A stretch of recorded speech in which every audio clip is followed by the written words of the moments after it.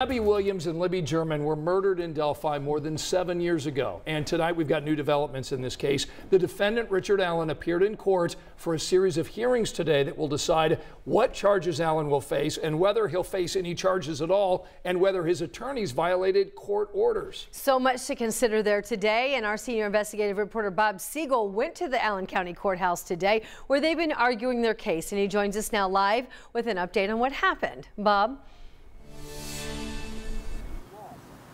Well, the murders of the teenagers happened in Carroll County, and that's where Richard Allen's trial is going to take place here in eight weeks. But the special judge appointed to the case, she's here in Allen County. Her courtroom's right behind us here at the county courthouse, and that's where the hearings took place today, starting with a major decision. Richard Allen has been facing murder charges in the deaths of the two Delphi teenagers since 2022. But today the judge agreed to add two more murder charges requested by the prosecutor.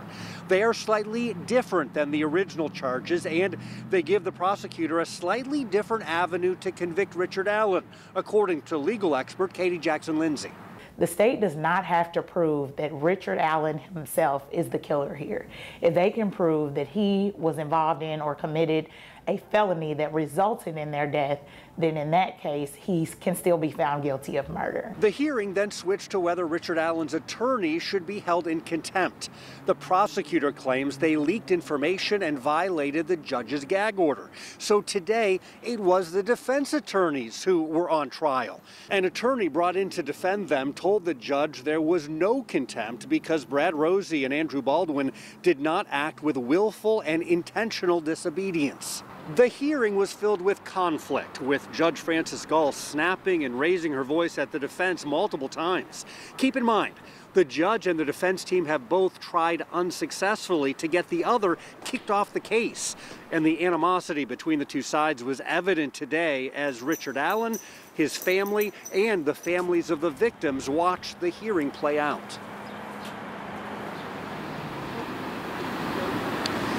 Now, no decision today on the contempt issue. The uh, defense, they have another week to be able to file a written final argument, and then the prosecutor has a week to respond to that. So it's going to be sometime next month when we get a final decision. So there was a extra hearing today that we were not anticipating to take place. It was a hearing to determine whether or not to drop all charges against Richard Allen. My colleague Emily Longnecker was in that part of the hearing and right. help explain what happened there. Well, Bob, that was, you know, that lasted several hours. And basically, the defense was asking the judge to dismiss all of these charges against Richard Allen based on the fact that video evidence, uh, video uh, interviews that uh, police took early on in those first few days days uh, after the girls' bodies were discovered that that um, video, uh, those video interviews uh, had been taped over. Um, they talked about, they interviewed a gentleman who at the time had been the police chief of Delphi, who now works for the prosecutor's office as an investigator. He talked about how they used a DVR system in those early days where they would flip on a switch outside the interview room, a blue light would go on, people would be interviewed, both people who were maybe potential suspects and also people that came into the police station just with tips. And what was discovered in August of 2017, so several months later, was that those early interviews in those early days were gone. And the defense is saying, look, some of those interviews um, contained information and were possibly with people that yeah. that could exonerate our client. And Emily, was there any decision on that in the hearing? No decision yet. No, okay. no okay. decision. All right, so we're still waiting on a decision on that. Lots of uh, events happening here in uh, up in uh, Allen County today. We'll have more on the hearings coming up tonight at 11.